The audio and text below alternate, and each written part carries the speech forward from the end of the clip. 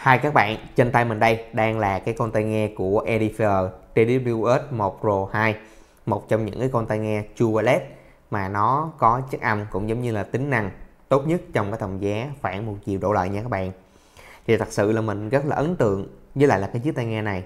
Nó có đầy đủ những cái chiếc tính năng mà những cái chiếc tai nghe cao cấp có Nhưng mà cái mức giá của nó lại thuộc ở dạng là tầm trung Dễ dàng mua ha hiện tại thì mình tham khảo á, khi mà các bạn áp mã xong các kiểu á, thì cái tai nghe này giá của nó chỉ hơn 800 ngàn thôi các bạn. Với mức giá mà đang sale 12 tháng 12 như thế này giá chỉ trên 800 ngàn. Thì thật sự là các bạn nào mà đang tìm một cái con tai nghe True Wireless trong tầm giá dưới 1 triệu để chơi Tết nè thì thật sự là mình khuyến khích anh em luôn nên hốt ngay cái em Edifer này. Ở ngoài phần mặt trước thì các bạn thấy là hộp của Edifer họ làm nhìn rất là đẹp ha nổi bật. In cái hình của tai nghe nổi ở đây và nó nhấn mạnh vô là sử dụng Bluetooth 24 giờ cho một làn sạc ở đây ha. Mã là TDUS 1 Pro 2 mặt sau thì nó sẽ để nhiều hơn về tính năng của cái tai nghe này. Thí dụ giống như là MC hoặc là những cái tính năng remote, hoặc là xuyên âm, hay là chống nước gì đấy ha, hay là Midgo với công nghệ là AI mới để giúp cho các bạn đàm thoại được tốt hơn. Những cái thông tin, chi tiết nổi bật thì mình thấy họ cũng in khá là tinh gọn đây, rút ra. Đó, thì các bạn sẽ thấy một hộp riêng ha. Edifier thì họ mình thấy họ làm cái sản phẩm này thì họ rất là châu chuốt vào trong cái hoàn thiện sản phẩm từ vỏ hộp luôn, các bạn thấy không? Thì các bạn thấy đây, khi mà nó hoàn thiện như vậy thì các bạn sẽ bật nhẹ lên thôi và nó có cơ chế 500 các bạn thấy không? Nó làm hộp rất là chi tiết chứ không phải là cái dạng mà giấy nó căn bản, tái chế. Hay là hộp nhìn nó không cao cấp, nó không chất lượng ha. Nhìn cái hộp thôi là các bạn thấy nó rất là ok rồi và cái logo của Edifer thì được mạ vàng anh ở đây, nhìn cái nó nổi bật luôn. Cái này mà mua làm quà tặng thì cũng rất là xịn sò luôn các bạn. Khi mà mở ra thì các bạn sẽ thấy cái hộp thì nó sẽ có hai fan đầu tiên thì nó có một cái fan để chứa là cái phụ kiện của tai nghe. Và tiếp theo là có một cái fan để chứa cái phần à, tai nghe nha các bạn. Đầu tiên thì mình sẽ soi xét về cái fan phụ kiện trước nha fan phụ kiện thì à, bên trong xem có gì nè.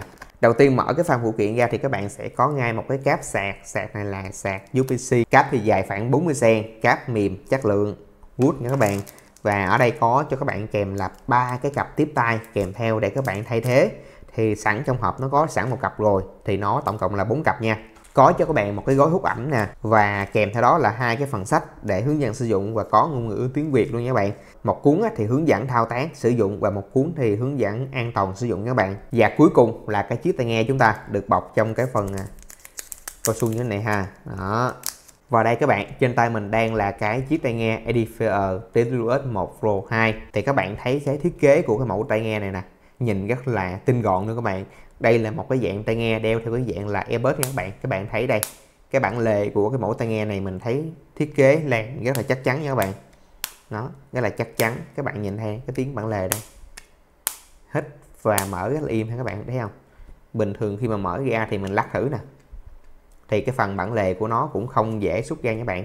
Và kể cả những cái tai nghe bên trong thì nó cũng không dễ xuất ra. Thì các bạn thấy đây là một cái điểm cộng ha. Đó mình làm rất là mạnh nhưng mà nó không xuất ra. Đây là một cái điều mà các bạn thấy là Edifier họ gia công khá là tốt. Và cái điều mình thấy hay nữa là cái logo của Edifier thì đã được là in chìm ở trên đây luôn các bạn. In cái dạng là chìm xuống luôn, chứ không phải là dạng in nổi hay là khắc cái dạng là laser, mà in chìm xuống luôn. Cái logo nhìn cũng rất là sắc nét ha. Mặt trước thì các bạn sẽ thấy có cái phần đèn báo ha. Một cái phần đèn báo, khi mà mở lên như vậy thì các bạn sẽ thấy một cái phần đèn báo cạnh dưới thì các bạn sẽ thấy là in cái số series cũng giống như là những cái thông số kỹ thuật của cái tai nghe này. Và đối diện ở hông á, thì họ sẽ giác nha các bạn. Để các bạn thấy không? Cạnh hông này và hông ở đây. Cũng giống như ở dưới thì họ giác để khi mà các bạn cầm lên á thì cái mẫu tai nghe này nó có một cái điểm tựa nó không bị chân chật nha các bạn. Cầm lên thì nó rất là dễ chịu luôn. Và ở bên cạnh hông này á, ở dưới thì nó sẽ có một cái nút để các bạn nhấn reset cũng giống như là bật tắt cái hộp sạc này kèm với lại là cái tai nghe thì các bạn sẽ thấy là đối diện ở cạnh sau khi mà các bạn bật cái bản lề lên như vậy nè, thì nó có một cái cổng UPC để các bạn sạc cho cái tai nghe này. Thiết kế căn bản về cái hộp sạc thì nó tương tự như vậy ha. Bây giờ mình sẽ nói đến cái phần à, housing bên trong, cái phần tai nghe, chính mà các bạn sử dụng nhiều nhất. Các bạn nhìn cái hốc này, hai cái hốc ha. Và mình có thử để hai cái mẫu tai nghe này lộn xộn cho nhau thì không được nha các bạn. Các bạn phải để đúng bên đó thì mới nhận sạc được nha và cái chấu sạc á, thì mình thấy họ làm á, cái dấu sạc rất là xa nhau và cái phần chấu sạc này cũng rất là lớn nha các bạn. Đây một cái kén sạc. Tiếp đến là cái phần housing trên cái mẫu tai nghe này nha các bạn. Đây là cái phần housing mà các bạn sẽ tiếp xúc và nghe nhiều nhất.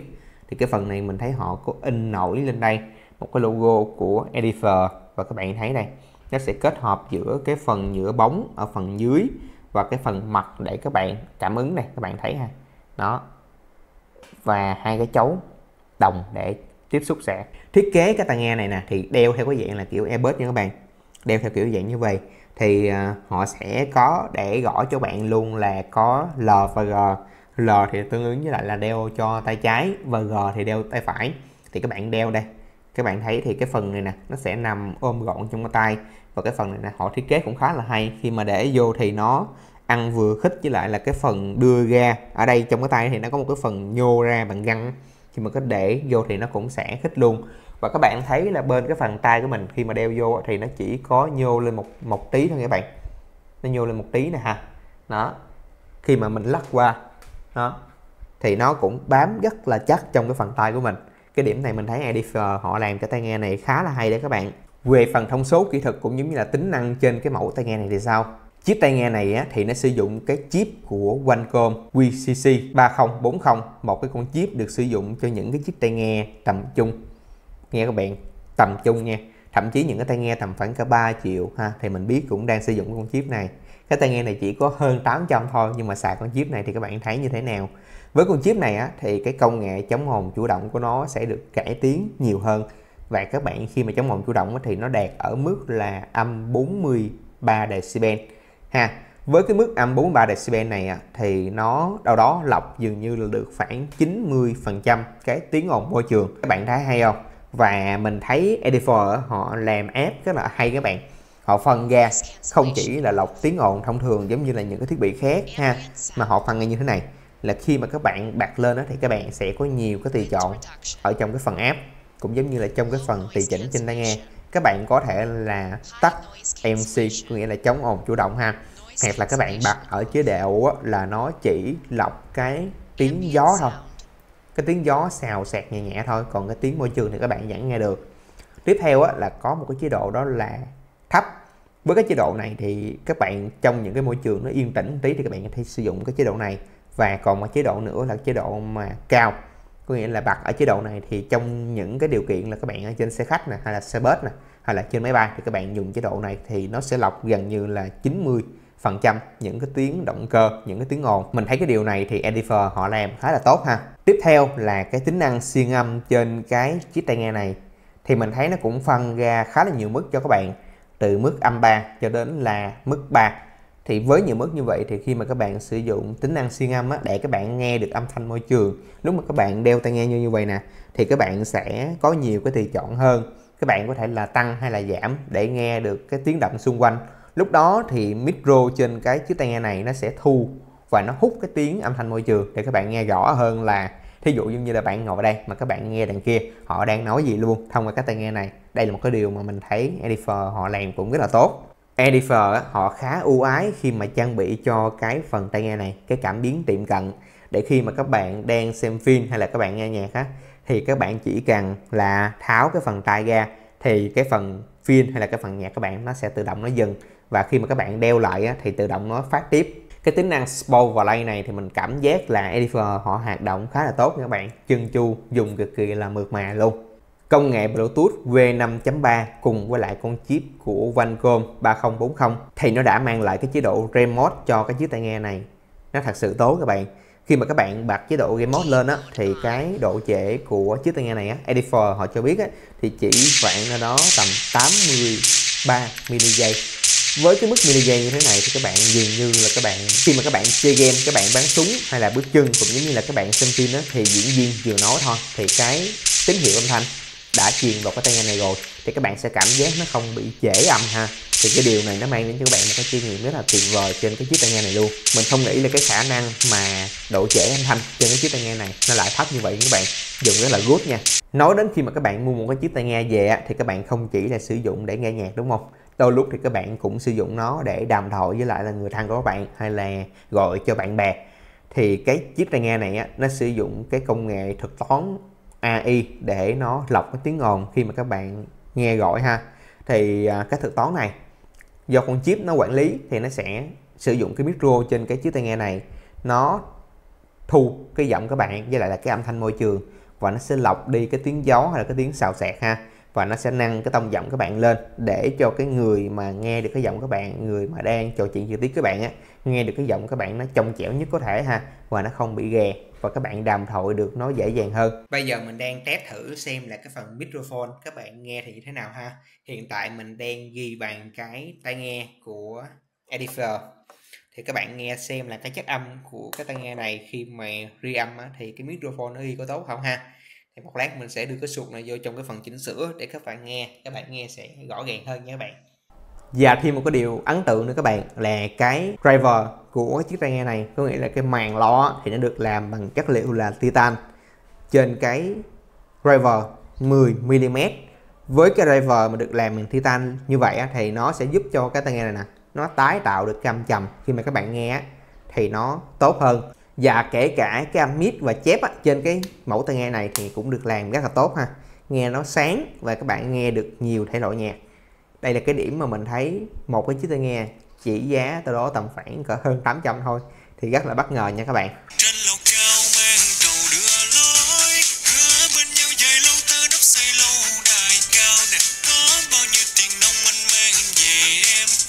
Tổng kết những cái ưu điểm nãy giờ mà mình chia sẻ cho các bạn á thì cái thời lượng pin trên chiếc tai nghe này nó dùng có tốt hay không? Tại vì nãy giờ nó quá nhiều tính năng các bạn. Nào là chống ồn chủ động nào là siêu âm nè ha. Và nào là kết nối với app nè. Nào là có phát up có kết nối thông minh. Rất là nhiều thứ. Thì cái thời lượng pin nó có ấn tượng không? Với cái chiếc tai nghe này á thì khi mà các bạn sạc đầy hai cái driver của tai nghe á, thì các bạn nghe được là 6 tiếng. Ở chế độ là tắt AMC và cái hộp sạc này, sạc lại cho hai cái driver tai nghe được 3 lần thì được 18 tiếng nữa, thì nó vậy chi là 24 tiếng khi mà các bạn kết hợp pin giữa hai cái driver và cái hộp sạc. Và cái điểm tiếp theo á, nếu mà các bạn bật MC có nghĩa là bật chống ồn chủ động lên, thì cái chiếc tai nghe này, hai cái củ driver nó sẽ hoạt động được 4 tiếng và kết hợp với lại là cái hộp sạc thì nó được 12 tiếng nữa thì nó dĩ chi? Thì nó sẽ được là 16 tiếng để các bạn nghe ha. Với cái thời lượng pin như vậy á, thì khi mà các bạn nghe mà lỡ giữa chừng hết pin là sao các bạn? Các bạn yên tâm nha. Kể cả cái phần driver của cái tai nghe này, với lại là cái hộp sạc thì đều hỗ trợ sạc nhanh. Cái phần hộp sạc này nè, thì các bạn sạc chỉ đâu đó tầm khoảng cỡ 40 phút thì nó sẽ đầy. Còn riêng cái phần driver thì họ cũng có trang bị cái công nghệ sạc nhanh.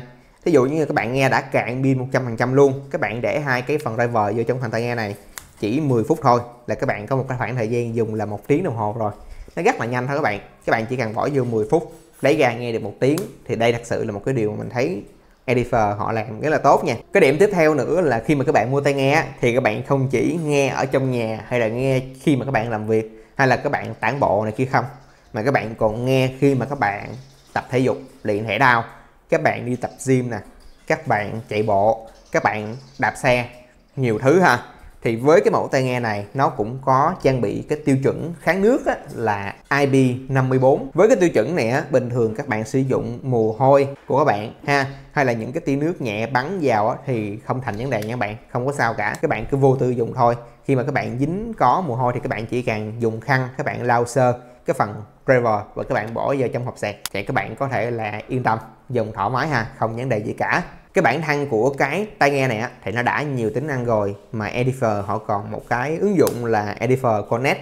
Khi mà các bạn kết nối giữa cái phần tai nghe này với lại là cái phần ứng dụng ha cái phần app thì các bạn không chỉ kết nối cái mẫu tai nghe này không đâu mà các bạn còn kết nối được cái khay sạc để các bạn có thể là xem được cái dung lượng pin của khay sạc. Và cái tai nghe này thông minh một cái chỗ nữa là khi mà các bạn chỉ cần mở lên thôi là cái khay sạc này nè, nó sẽ tự động spare với lại là cái điện thoại của bạn và các bạn chỉ cần nhắc tai nghe va và nghe. Đây là một cái điểm mà mình thấy Edifier họ làm khá là tốt. Về phần tùy chỉnh thì các bạn có thể là tùy chỉnh được rất là nhiều thứ trong cái phần app của Edifier ha. Từ các bạn tùy chỉnh những cái tính năng, ví dụ giống như là xuyên âm hay là chống ồn chủ động, hoặc là chế độ phốt up, hoặc là tùy chỉnh về những cái chế độ cảm ứng trên chiếc tai nghe này các bạn cũng có thể là thiết lập hẹn giờ, nói chung là được rất rất là nhiều thứ. Hoặc là nó cũng có cái tùy chỉnh EV để các bạn có thể lựa chọn được nhiều cái chế độ nhạc các bạn nghe. Và các bạn cũng có thể là bật game mode. Nói chung là rất là nhiều thứ trong cái phần app Editor mà các bạn có thể là tùy chỉnh được nha. Và đó các bạn, thì mình cũng đã test các kiểu cho các bạn về cái tính năng của cái con Editor TWS 1 Pro 2 này rồi. Thì các bạn đánh giá như thế nào? Ghi bản thân mình đánh giá ha. Trong cái phân khúc tầm khoảng một triệu đổ lại thì con tai nghe này nó có một cái chất âm cực kỳ là tốt. Giải bắt của nó đánh mạnh xuống sâu. Mid chép thì các bạn nghe cũng rất là đã. Nói chung là các bạn nghe được nhiều thể loại nhạc. Và với trong cái tầm giá thì mình nghĩ đây là một cái con tai nghe cho chất âm cực kỳ là tốt luôn nha bạn. Chưa kể là nó có đầy đủ những cái tính năng mà những cái thiết bị tai nghe cao cấp cần phải có. Nếu mà như trước đây á, thì các bạn phải chọn bỏ tầm khoảng cỡ 2 cho đến 3 triệu thậm chí hơn để sở hữu những tính năng này nhưng mà thời điểm hiện tại thì các bạn chỉ cần bỏ ra đó tầm khoảng cỡ hơn 800 ngàn thôi là các bạn đã nghe và đã sở hữu được những cái tính năng này rồi. Với cái mức giá này thì cái việc đầu tư cho một cái chiếc tai nghe True LED để phục vụ cho các bạn nhu cầu công việc nghe nhạc thì mình đánh giá đây là một cái mức giá cũng rất là phù hợp mà Edifer họ đang nhắm tới. Và trong cái thời điểm mà các bạn muốn chốt đơn thì các bạn nên chốt đơn luôn ha hiện tại thì à, trên Shopee cũng có chương trình diễn ra sale 12 tháng 12 á và Edifer và Shopee họ đang kết hợp sale rất là khủng. Nên các bạn tranh thủ mua trong thời điểm này để cho nó được tiết kiệm ha. Link mà để mua cái chiếc tai nghe này á, thì mình sẽ để dưới phần mô tả thì các bạn bấm vào tham khảo và mua. Nếu các bạn cảm thấy thích video này thì nhớ nhấn like share cũng như là subscribe kênh của mình. Bây giờ xin chào và hẹn gặp lại các bạn trong video lần sau.